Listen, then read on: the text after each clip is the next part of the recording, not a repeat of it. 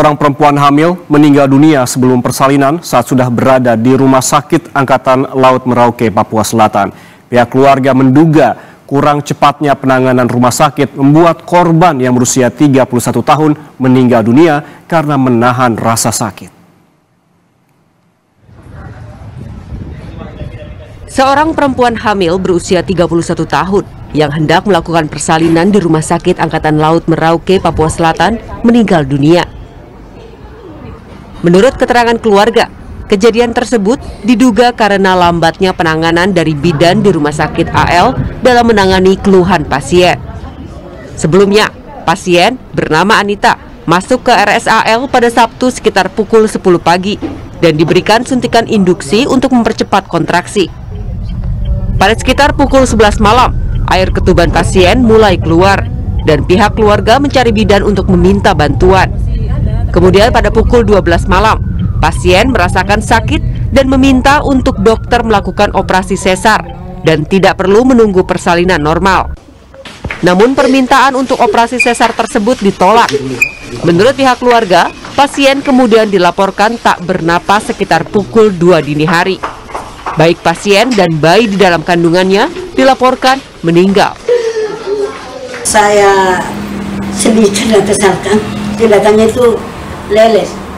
Dan saya bilang lelet. Kenapa? Anakku sempat bilang, mana dokterku? Oh, sempat dia bilang, mana dokterku? Dokter misalku mana? Terus, bilangnya jawab, saya mau disesar. Bilangnya jawab apa?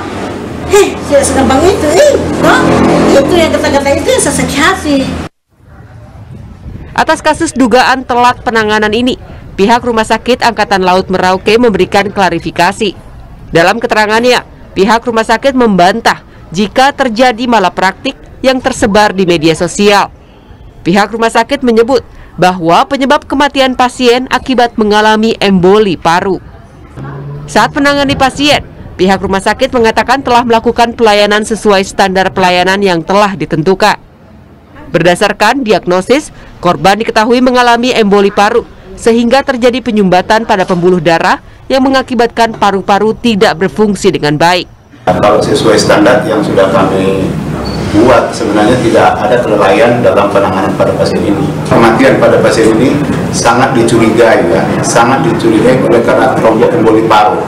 Artinya pada pas saat uh, pasien mengalami uh, apa namanya persalinan Nah, dalam kondisi seperti itu memang ada kasus-kasus tertentu yang mengalami uh, tromboemboli paru dalam artian terjadi emboli yang menyumbat daripada pembuluh darah untuk paru sehingga paru tidak berfungsi dengan bagus sehingga terjadi uh, gagal napas.